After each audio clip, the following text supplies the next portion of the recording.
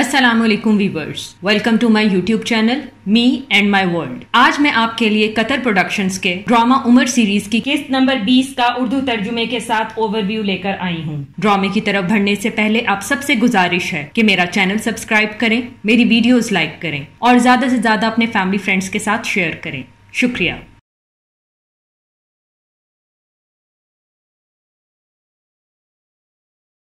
اس case کا آغاز خالد ابن ولید رضی اللہ تعالیٰ عنہ سے ہوتا ہے؟ جو اپنے ساتھیوں سے کہتے ہیں، کیا ابو بکر صدیق رضی اللہ تعالیٰ عنہ نے مجھے ان سے لڑنے کا کہا؟ اس سے پہلے کہ وہ الرباب کے لوگوں پر حملہ کریں، ان میں سے بہت سے لوگ مسلمان تھے۔ ابو قدادہ رضی اللہ تعالیٰ عنہ کہتے ہیں، الرباب نے ان لوگوں سے امن کا معاہدہ کیا ہوا ہے۔ خالد رضی اللہ تعالیٰ عنہ فرماتے ہیں، کیونکہ وہ ضروری تھا۔ انہیں خود کی اور اپنے خاندانوں کی حفاظت کرنی تھی۔ حتیٰ کہ خدا انہیں نکلنے کا کوئی راستہ دکھاتا۔ خدا کی قسم، اگر میں نے مالک کو پکڑ لیا، میں اسے سخت سزا دوں گا، کیونکہ اس نے الرباب کے مسلمانوں کا بیجا قتل کیا ہے۔ میں اس پر ایک سپاہی کے اصول قتل لاگو نہ کروں گا، لیکن ایک قاتل کے اصول ضرور لاگو کروں گا۔ ایک قاتل کو جنگ میں، امن میں، دونوں میں صرف موت کی سزا ملنی چاہیے۔ ابو قدادہ رضی اللہ تعالیٰ عنہ کہتے ہیں کہ ہمیں ان کی طرف نہیں بڑھنا چاہیے، حتیٰ کہ ہمیں خلیفہ کا حکم نہ مل جائے۔ یہ سن کر سلیم رضی اللہ تعالیٰ عنہ کہتے ہیں کہ ابو بکر رضی اللہ تعالیٰ عنہ اس بارے میں سچ کہہ رہے تھے۔ وہ ایک دوسرے سے لڑ رہے ہیں۔ اب ہم دیکھتے ہیں کہ سجا اور مالک کے لوگ مسلمہ کے لوگوں کے خلاف کیا کرتے ہیں، کیونکہ اب وہ ان کی طرف بڑھ رہے ہیں۔ اس منظر میں سجا اپنی فوج کے ساتھ کوچ کر رہی ہوتی ہے اور اپنے لوگوں کو کہتی ہے کہ یماما کی طرف جاؤ، تیز آندھی کی طرح۔ یہ فیصلہ کن مہم ہے۔ اس منظر میں مسلمہ اپنے لوگوں سے کہتا ہے کہ نہیں، ہم ان سے نہیں لڑ سکتے۔ وہ میری طرف امن کا پیغام لے کر آئے ہیں۔ اس لیے اس نے ہمیں اکیلا چھوڑ دیا۔ میں تمہیں حکم دیتا ہوں کہ اسے وہ دے دو جو اسے چاہیے، تاکہ وہ ہمیں تنہا چھوڑ دے اور جنگ کا ارادہ بدل دے۔ اس طرح وہ جزیرے کی طرف واپس چلی جائے گی۔ اتنے میں سجا یماما پہنچ جاتی ہے اور کہتی ہے کہ تمہیں کیا لگا کہ تمہارا خلیفہ تمہیں محفوظ رکھے گا؟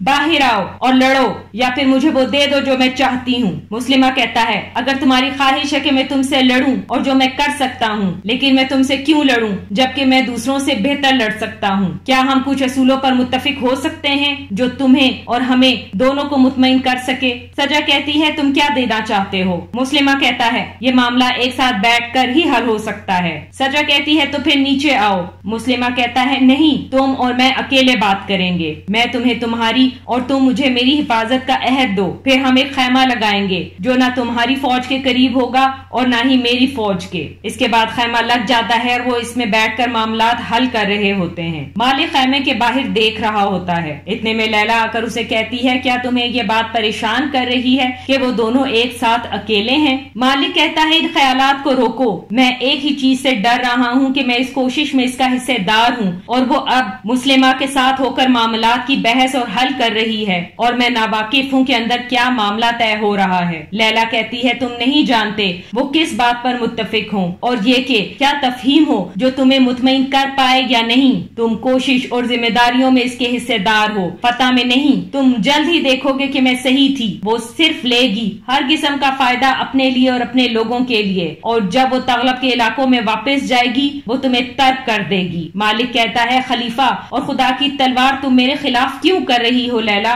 جبکہ میں تمہارا شوہر ہوں۔ لیلا کہتی ہے، تم اب زیادہ دیر تک میرے شوہر نہیں رہو گے، اور میں تمہارے لیے صرف غلام ہوں۔ اور یہ کہہ کر وہ وہاں سے چلی جاتی ہے۔ اس منظر میں سجا مسلمہ کے پاس آتی ہے اور کہتی ہے، بتاؤ تمہارے پاس مجھے دینے کو کیا ہے؟ مسلمہ کہتا ہے، میں تمہیں بتاؤں گا کیا میرے پاس ہے۔ جب میں جان جاؤں گا کہ تم کیا کہنا چاہ رہی ہو۔ سجا کہتی ہے، چلو وہی سے شروع کرتے ہیں جو تم نے الزام لگایا۔ تم مجھے کچھ وہی کے بارے میں بتاؤ۔ مسلمہ کہتا ہے، کیا تم نے دیکھا کہ تمہارے خدا نے ایک حاملہ عورت کے ساتھ کیا کیا؟ اس نے ایک روح کو چنا، اندراج اور برقراریت کے ساتھ۔ سجا ہنسنے لگتی ہے اور کہتی ہے، سجا اسے نہیں لے سکتی۔ سجا لے لیتی، لیکن وہ کبھی نہ لے گی۔ مسلمہ کہتا ہے، لے لو، پھر وہ تمہیں ایک سال تک یماما کی پیداوار دے گی۔ تم اس کا آدھا ابھی لے لو اور تم کچھ لوگوں کو چھوڑ دو تاکہ وہ باقی کا آدھا لے جائیں۔ تم اپنی جگہ پر واپس چلی جاؤ۔ عرب سے کیوں لڑتی ہو؟ آیا، کیا میں منصفانہ نہیں ہوں؟ یہ ایک تجویز ہے۔ سجا اور کیا؟ مسلمہ کہتا ہے، تم اس سے شادی کر لو۔ میرے ساتھ تین دن تک رہو اور پھر ہم ایک دوسرے کے ساتھ ہوں گے۔ ہمارا معاہدہ بہتر طریقے سے مہر بند ہو جائے گا۔ پھر ہم اپنے اپنے راستوں پر چلے جائیں گے۔ ہم اس طرح راضی ہوں گے اور الگ ہوتے ہوئے بھی راضی ہوں گے۔ سجا معاہدہ کر کے اپنے خیموں کی طرف واپس آ جاتی کرتی ہے۔ اور اپنے لوگوں کو کہتی ہے کہ میں نے مسلمہ سے معاہدہ کر لیا ہے۔ وہ ہمیں ایک سال تک یماما کی پیداوار دے گا۔ خیموں کو اتار دو۔ گھروں کو واپس جانے کی تیاری کرو۔ ہم نے نجد میں اپنا کاروبار ختم کر دیا۔ سجا مالک کو کہتی ہے، یہ تمہارا ملک ہے۔ وہی کرو جو تمہیں بہتر لگے۔ مالک کہتا ہے، اس وعدے کا کیا؟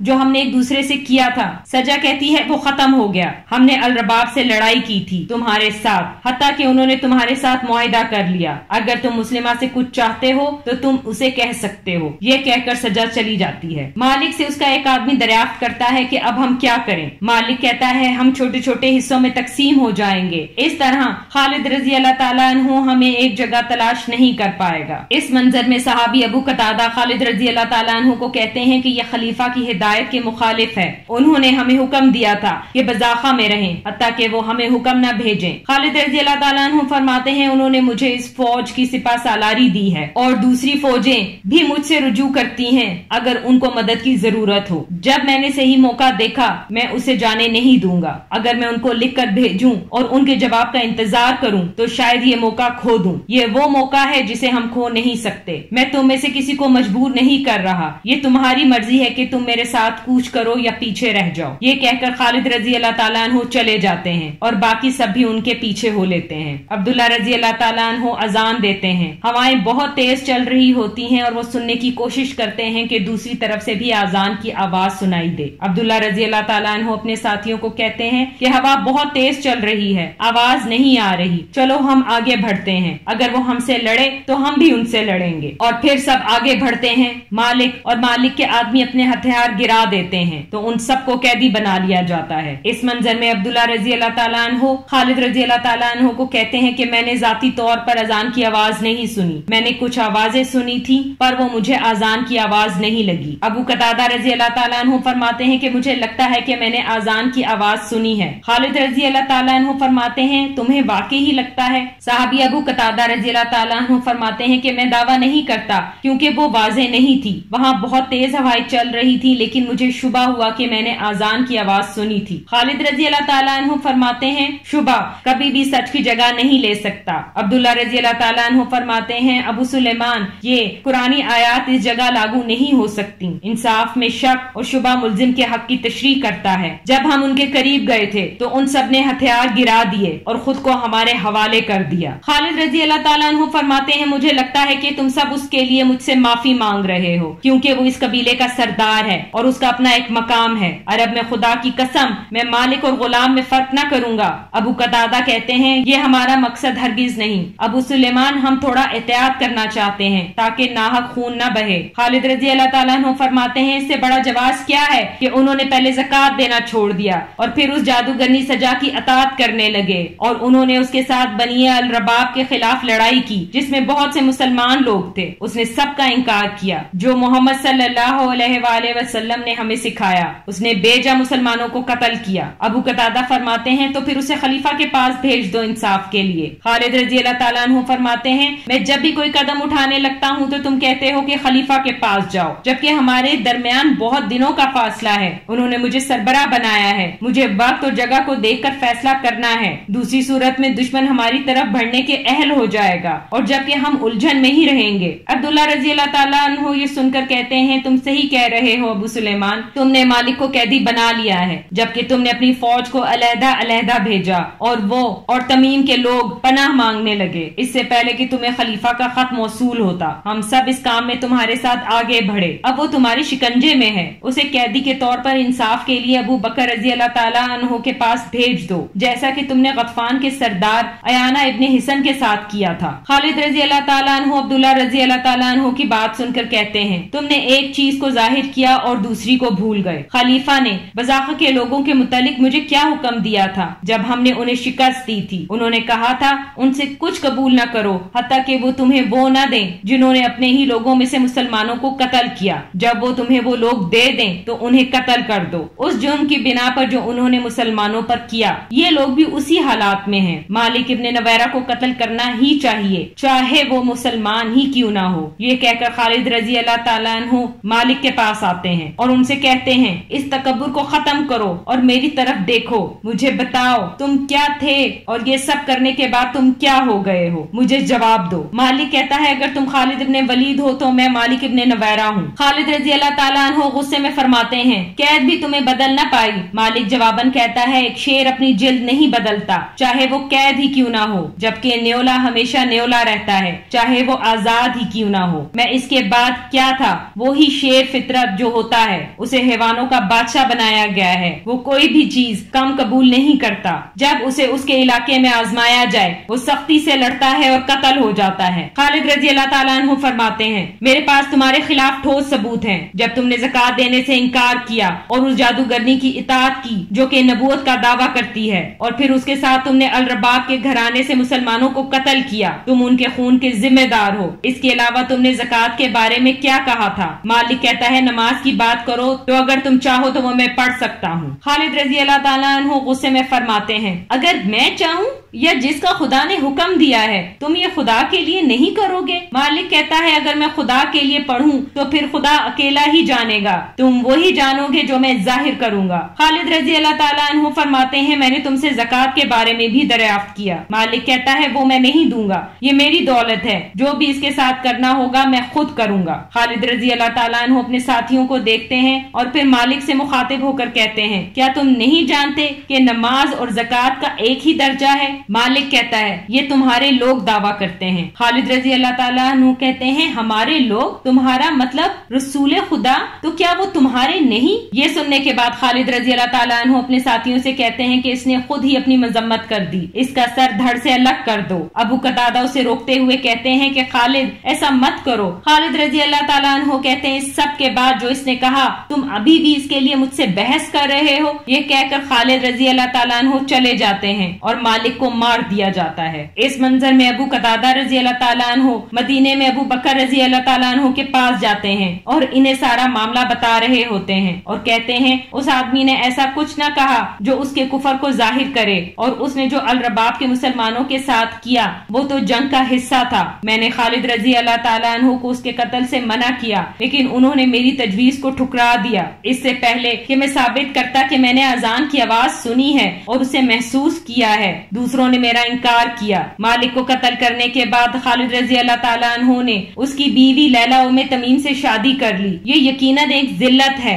جب اس نے یہ کیا تو میں آپ کو شکایت کرنے کے لیے روانہ ہو گیا۔ ابو بکر رضی اللہ تعالیٰ عنہ فرماتے ہیں، کیا اس نے اس عورت کی عدت ختم ہونے کے بعد شادی کی؟ ابو قطادہ رضی اللہ تعالیٰ عنہ کہتے ہیں جی ہاں۔ ابو بکر صدیق رضی اللہ تعالیٰ عنہ دوبارہ سوال کرتے ہیں، کیا اس نے اسے مجبور کیا یا اس نے اپنی مرضی سے شادی کی؟ اس سے پہلے ہی عمر رضی اللہ تعالیٰ عنہ فرماتے ہیں، اس نے اسے اس کے شوہر سے لے لیا، جبکہ وہ ایک قیدی تھا اور وہ بھی یقیناً ایک قیدی عورت تھی۔ وہ اس حالت میں نہیں تھی کہ اس سے اس کی رضامندی پوچھی جاتی۔ ابو بکر رضی اللہ تعالیٰ عنہ، عمر رضی اللہ تعالیٰ عنہ کی بات سننے کے بعد ابو قطادہ رضی اللہ تعالیٰ عنہ سے کہتے ہیں، تم کس کی اجازت سے یہاں آئے ہو؟ کیا تم نے اپنے سپا سالار کو بتایا؟ عمر رضی اللہ تعالیٰ عنہ بولنے لگتے ہیں کہ ابو بکر رضی اللہ تعالیٰ عنہ انہیں روک کر کہتے ہیں۔ ابو قطادہ فوج اور خالد کو چھوڑ کر یہاں آئے، غلط کیا، واپس جاؤ، وہی کرو جو وہ کہے اور اس کے ساتھ جہاد کو مت چھوڑو۔ ابو قطادہ کہتے ہیں، میں یہی کروں گا خلیفہ اور چلے جاتے ہیں۔ ابو قطادہ کے چلے جانے کے بعد عمر رضی اللہ تعالیٰ عنہ، ابو بکر صدیق رضی اللہ تعالیٰ عنہ سے فرماتے ہیں، کیا معاملہ ہے ابو بکر؟ تم نے ابو قطادہ سے اتنی سختی سے بات کیوں کی؟ اس کی بات پر توجہ تک نہیں دی، جس کے لیے وہ یہاں آیا تھا۔ ابو بکر رضی اللہ تعالیٰ عنہ فرماتے ہیں، ہمیں سپاہیوں کو اس بات پر شے نہیں دینی چاہیے کہ وہ جنگ کے حالات میں اپنے سپاہ سالار کی اطاعت نہ کریں، ورنہ دوسری صورت میں فوج کا نظم و ضبط خراب ہو جائے گا اور ان کا سپاہ سالار اپنی جگہ کھو دے گا۔ جبکہ دشمن ان کے حالات پر نظر رکھے ہوئے ہوں گے۔ اگر تمہارا بیٹا عبداللہ بھی اسی شکایت کے ساتھ یہاں آیا ہوتا تو ابو قطادہ سے زیادہ میں اس سے سختی سے پیش آتا۔ عمر رضی اللہ تعالیٰ عنہ فرماتے ہیں، تو خالد کا کیا؟ اس کے ساتھ تم کیا کرو گے؟ کیا تم اسے سزا نہ دو گے؟ ابو بکر رضی اللہ تعالیٰ عنہ فرماتے ہیں، میں اسے کس کے لیے سزا دوں؟ عمر رضی اللہ تعالیٰ عنہ فرماتے ہیں، کس لیے؟ اس نے ایک آدمی کو قتل کیا جس کا شرک واضح طور پر ظاہر نہ ہوا تھا، لیکن وہ قیدی تھا۔ ابو بکر رضی اللہ تعالیٰ عنہ فرماتے ہیں، اگر آدمی نے شرک کا اپنے منہ سے اظہار نہ کیا، تو اس نے اپنے رویے سے سب ظاہر کر دیا۔ اور اس کا کیا؟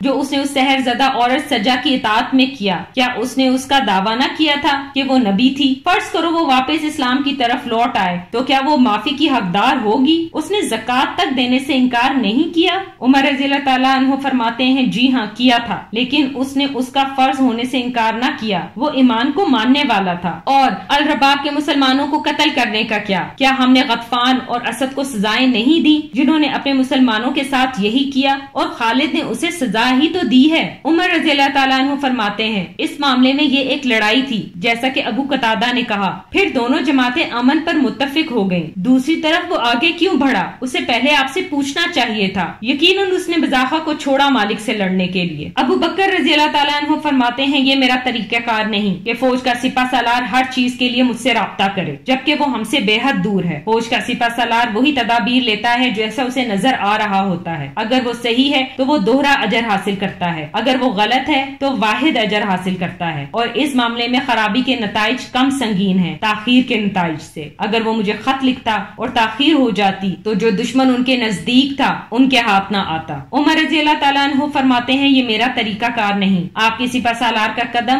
آپ ہی کے خلاف درج کیا جائے گا، کیونکہ آپ ان کے سربراہ ہیں۔ مجھے ڈر ہے کہ کہیں آپ کو بتائے بغیر خود ہی نہ فیصلہ کرنے لگے یہ آسان ہے جبکہ وہ آپ سے دور ہیں۔ ابو بکر رضی اللہ تعالیٰ عنہ، عمر رضی اللہ تعالیٰ عنہ کی بات سن کر کہتے ہیں، عمر، وہی کا آنا رک گیا ہے۔ خدا نے تفصیل سے بتا دیا ہے کہ کیا جائز ہے اور کیا حرام۔ رسول خدا نے اس بات کو یقینی بتایا ہے کہ ہم پر پوری وضاحت ظاہر ہو۔ دنیا کے معاملات، حکومتی معاملات اور لوگوں کے مفادات کے لیے انتظامات سمیت ہمیں ہمیشہ خدا سے ڈرنا چاہیے، سخت سوچنا چاہیے۔ چاہیے اور ہمیشہ خدا سے دعا کرنی چاہیے کہ وہ ہمیں صحیح راستہ دکھائے اور ہمیں درست فیصلہ کرنے کی توفیق عطا فرمائے۔ ہمیں جس کا سامنا ہے وہ بالکل واضح ہے، جیسا کہ دن کی روشنی۔ کیا خدا نے ہمیں اس معاملے میں مشاورت کرنے کا کہا ہے جو کہ بالکل واضح ہے؟ کیا ہم میں سے کوئی ایک دوسرے سے مشاورت کرتا ہے جیسا کہ نماز میں، زکوٰۃ میں، حج میں؟ نہیں، کیونکہ یہ تمام معاملات روزمرہ زندگی کا حصہ ہیں۔ لوگوں کی رائے مختلف ہو سکتی ہے۔ اسی لیے خدا نے ایک مخلوق کی درجہ بندی کی۔ ہے۔ ایک صورت میں کہ وہ نظم و ضبط میں رہیں، مشاورت اور خدا کے ڈر سے۔ یہ واضح کرتا ہے کہ اختلاف رائے جنگ میں پیدا نہیں ہو سکتے۔ میں نے اپنا طریقہ کار واضح کر دیا۔ تمہارا مختلف طریقہ کار ہے۔ یہ کسی کی اپنی طاقت، کمزوری اور درستگی ہے۔ خدا کا شکر ہے کہ اس نے مجھے عمر کا ساتھ دیا کہ وہ میری مدد کرے۔ دو طریقہ کار ایک دوسرے کے معتدل ہوتے ہیں۔ عمر رضی اللہ تعالیٰ عنہ فرماتے ہیں، ٹھیک ہے۔ یہ ہے ایک سپا سالار اور گورنر کے اقدامات کی صورت میں۔ لیکن یہ خالد رضی اللہ تعالیٰ عنہ کو بے قصور ثابت نہیں کرتا جو اس نے مالک کا قتل کیا۔ پھر اس کی بیوہ سے شادی کی۔ میں اس معاملے میں بحث کر سکتا ہوں۔ ابو بکر رضی اللہ تعالیٰ عنہ فرماتے ہیں، اور تم نے لمبی بحث کرنی ہے۔ میں اس بارے میں یہی کہہ سکتا ہوں کہ اس کے پاس اس کی اپنی وضاحت ہوگی۔ عمر رضی اللہ تعالیٰ عنہ فرماتے ہیں، آپ اس کو بتا دیں کہ اس کی تلوار بہت سخت ہے اور وہ جلدی عمل کرتا ہے، نہیں تو اس کو بدل دیں۔ ابو بکر صدیق ایک دم سے فرماتے ہیں، بدل دوں؟ دور لے جاؤ اس نصیحت کو مجھ سے، خدا کی قسم۔ میں اس تلوار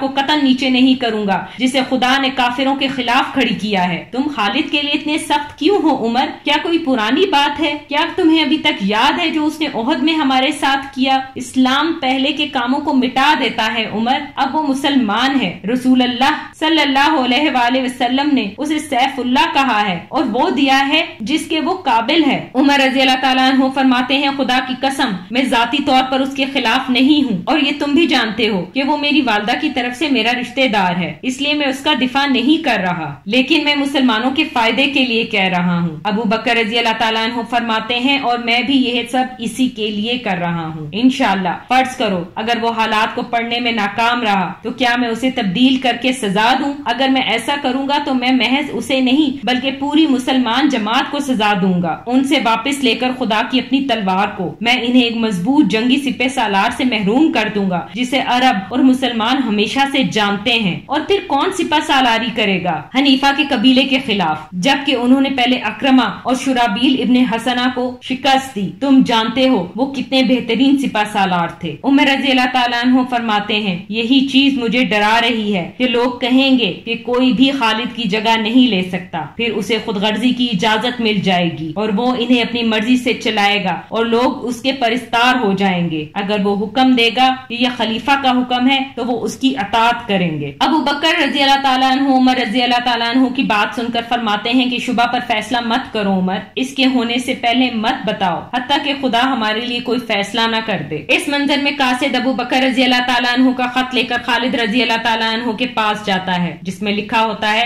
کہ یہ ماما کی طرف کوچ کریں، میں تمہیں اس کا حکم دیتا ہوں۔ خدا سے ڈرو کہ اس کا کوئی شریک نہیں ہے۔ خالد خود کو نصیحت کرو، اپنے خاندان المغیرہ کے پرزور طریقے کے خلاف، میں تمہارے لیے کھڑا ہوں، ان لوگوں کے خلاف، جن سے آج تک میں نے کوئی اختلاف نہ کیا۔ اور جب تم حنیفہ کی فوج سے ملو، تو ان کے حالات کو دھیان سے پڑھنا۔ جیسے تم ان سے پہلے کبھی نہ ملے ہو، وہ سب تمہارے خلاف ہیں۔ ان کی زمین بہت وسیع ہے۔ جب تم ان کے قریب پہنچ جاؤ، تو ساری چیزوں کو اپنے ہاتھ میں لے لینا۔ خدا تمہارا مددگار ہو۔ اس منظر میں خالد رضی اللہ تعالیٰ عنہ اپنی فوج کے پاس آتے ہیں۔ فوج چکنا کھڑی ہوتی ہے۔ دوسری طرف، مسلمہ کی فوج بھی تیار کھڑی ہوتی ہے کہ حملہ کیا جائے۔ مسلمہ اپنی فوج کے لوگوں سے خطاب کرتے ہوئے کہتا ہے کہ آج غصے کا دن ہے۔ اگر تم ہار گئے تو تمہاری عورتوں کو لطف کے لیے لے جایا جائے گا۔ اپنی بکا اور اپنی عورتوں کی حفاظت کے لیے لڑو۔ اتنے میں خالد رضی اللہ تعالیٰ عنہ اپنی تلوار نیام سے نکالتے ہیں اور آگے بڑھتے ہیں اور کہتے ہیں، میں خالد ابن ولید ہوں، تمہیں للکارتا ہوں۔ تم میں سے جو یہ سمجھتا ہے کہ مجھ سے لڑ سکتا ہے وہ آگے بڑھے۔ مسلمہ یہ سن کر اپنے دو بہترین لوگوں کو بھیجتا ہے۔ پھر ان کے درمیان لڑائی ہوتی ہے اور خالد رضی اللہ تعالیٰ عنہ، ان دونوں کو موت کے گھاٹ اتار دیتے ہیں۔ اور مسلمان فوج یہ دیکھ کر ایک ہی وقت میں یا محمد کا نعرہ لگاتی ہے۔ خالد رضی اللہ تعالیٰ عنہ دوبارہ سے للکارتے ہوئے کہتے ہیں کہ ہے کوئی اور یا تم سب کی بہادری مر گئی یا تم لوگ اپنا دل ہار بیٹھے۔ جب سامنے سے کوئی جواب نہیں آتا تو وہ کہتے ہیں، میری بات سنو مسلمہ، میں تمہیں اور تمہارے لوگوں کو یہاں سے نکلنے کا مشورہ دیتا ہوں۔ ابھی حق کی طرف دوبارہ آ جاؤ اور دوسروں سے پہلے توبہ کر لو۔ اور کہو کہ میں ایمان لاتا ہوں کہ اللہ کے سوا کوئی عبادت کے لائق نہیں۔ اور یہ کہ محمد صلی اللہ علیہ وآلہ وسلم اللہ کے رسول ہیں۔ اور یہ کہ تم اب تک کفر اور خرابی میں رہے۔ اگر تم یہ کرتے ہو اور خدا اور اس کے رسول اور خلیفہ کی اطاعت کا عہد دیتے ہو، تو میں وعدہ کرتا ہوں کہ اسے قبول کر لوں گا اور تمہیں معاف کر دوں گا اور جنگ بھی ختم کر دوں گا۔ اب تم کیا کہتے ہو؟ مسلمہ یہ سن کر اپنی فوج کی طرف بڑھتا ہے اور یہ دیکھ کر خالد رضی اللہ تعالیٰ عنہ اپنے گھوڑے پر بیٹھتے ہیں اور کہتے ہیں، اپنے لوگوں کا خون مت بہاؤ مسلمہ،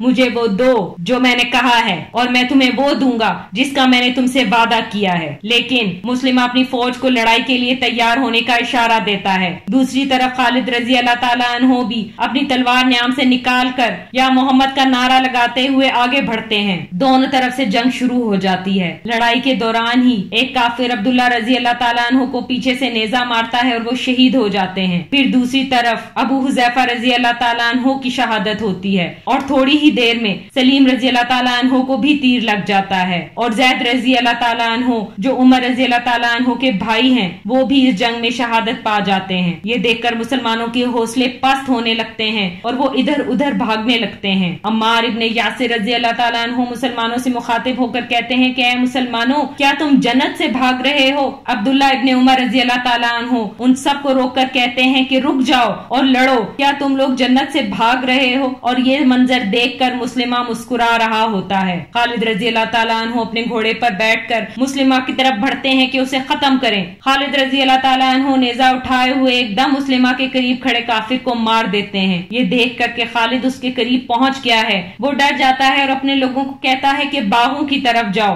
یہ سن کر تمام کافر باغوں کی طرف بھاگنے لگتے ہیں۔ یہ دیکھ کر کہ کافر بھاگ رہے ہیں۔ خالد رضی اللہ تعالیٰ عنہ اللہ اکبر کا نعرہ لگاتے ہیں اور فضا میں اللہ اکبر کا کا نعرہ بلند ہو جاتا ہے اور ایک دم ہاری ہوئی بازی پلٹ جاتی ہے اور مسلمان جنگ جیت جاتے ہیں۔ اور تھوڑی دیر پہلے جو شخص مسلمانوں کو ہارتا ہوا دیکھ کر مسکرا رہا ہوتا ہے، وہ ڈر کر باغوں کی طرف بھاگ رہا ہوتا ہے۔ اس جنگ میں مسلمانوں کا جانی نقصان بھی ہوتا ہے اور اسلام کے بہت اہم لوگ بھی شہادت پا جاتے ہیں۔ اس منظر میں خالد رضی اللہ تعالیٰ عنہ ان سب شہیدوں کی اچھی طرح سے تدفین کا حکم دیتے ہیں۔ پھر عمار رضی اللہ تعالیٰ عنہ سے کہتے ہیں کہ عمار اب کیا کریں گے؟ وہ لوگ اندر چلے گئے ہیں اور ہم انہیں پکڑ نہیں پائے۔ یہ سن کر وہاں موجود سپاہی کہتا ہے کہ ہمیں باہر ہی رہنا چاہیے جب تک کہ وہ بھوک سے ہلکان نہ ہو جائیں۔ عمار رضی اللہ تعالیٰ عنہ جواباً کہتے ہیں کہ ہم یہاں کتنے دن ٹھہر سکتے ہیں۔ ہمارے جسم سرد ہو جائیں گے۔ عبداللہ ابن عمر رضی اللہ تعالیٰ عنہ کہتے ہیں، اب ہم کیا کریں جبکہ انہوں نے تمام دروازے بند کر دیے ہیں اور دیواریں بے حد اونچی ہیں۔ اتنے میں ایک سپاہی آتا ہے اور کہتا ہے، مجھے دیوار کے اس طرف چڑھا دیں۔ جب میں دوسری طرف جاؤں گا تو تم لوگوں کے لیے دروازہ کھول دوں گا۔ اور جب تم لوگ اندر آؤ گے تو ہم باقی دروازے بھی کھول دیں گے۔ عبداللہ رضی اللہ تعالیٰ عنہ یہ سن کر کہتے ہیں، کیا تم خود کو مروانا چاہتے ہو؟ وہ شخص کہتا ہے، میں ان کو قتل کرنا چاہتا ہوں۔ انشاءاللہ جو میں قتل کر کے رہوں گا۔ امار رضی اللہ تعالیٰ عنہ اس کو کہتے ہیں کہ تم چاہتے ہو کہ ہم تمہیں ان لوگوں کی طرف ڈال دیں۔ اور دروازے کے قریب پہنچنے سے پہلے ہی وہ تمہارے ٹکڑے ٹکڑے کر دیں۔ وہ شخص جواباً کہتا ہے کہ وہ لوگ یہ سوچ بھی نہیں سکتے کہ ہم میں سے کوئی ایسا کرے گا۔ گا۔ وہ ابھی آرام کر رہے ہوں گے اور سوچ رہے ہوں گے کہ وہ اب محفوظ ہیں۔ خدا کی قسم،